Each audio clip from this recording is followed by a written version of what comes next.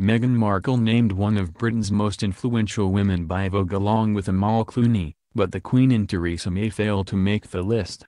He was said to have pledged to get rid of the posh girls when he took over editorship at Vogue magazine last year. So it comes as no surprise that Edward Enninful's inaugural list of Britain's 25 most influential and aspirational women is achingly right on. The magazine's chart, known as Vogue 25, feature the likes of the Duchess of Sussex, human rights lawyer Amal Clooney, Scottish Tory leader Ruth Davidson and a pop star few would have heard of 12 months ago. In a snub to the nation's two most powerful women, the Queen and Prime Minister Theresa May have been left off the list. Those who make the top 25 are described as an extraordinary cast of leaders defining, and redefining, the way we live now in range in age from 22 to 73.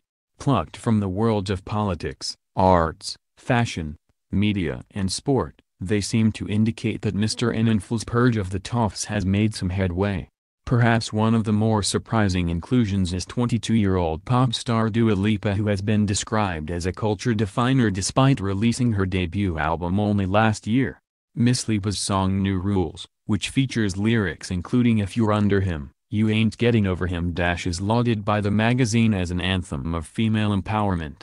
The body track was credited with laying out a blueprint for modern sex lives. Another of those inspirational figures is Meghan Markle the former U.S. actress who is now the Duchess of Sussex following her marriage to Prince Harry on May 19.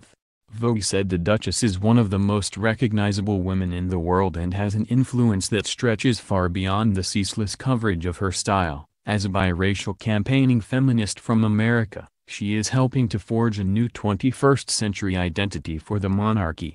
The former Suits star, who asked her wedding guests to donate to a range of charities rather than buy presents, was hailed by the magazine as someone who captured the public imagination like no other this year.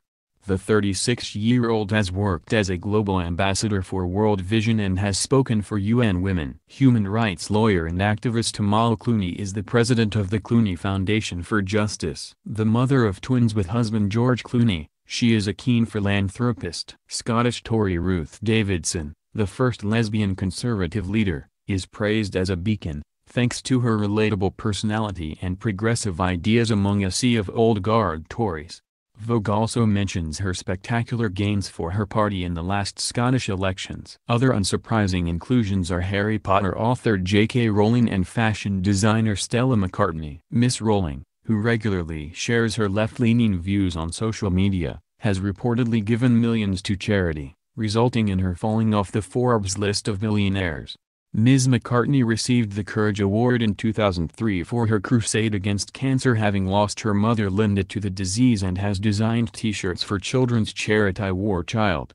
Among less well-known inclusions are Karen Blackett, CEO of media agency Mediacom, who has been described as the most influential black person in Britain. She started her career in advertising when the industry was predominantly male and white. She worked for Mediacom, one of the world's largest media agencies, for 20 years before being promoted to the top job in 2010 and was the first businesswoman to top the Powerlist 100.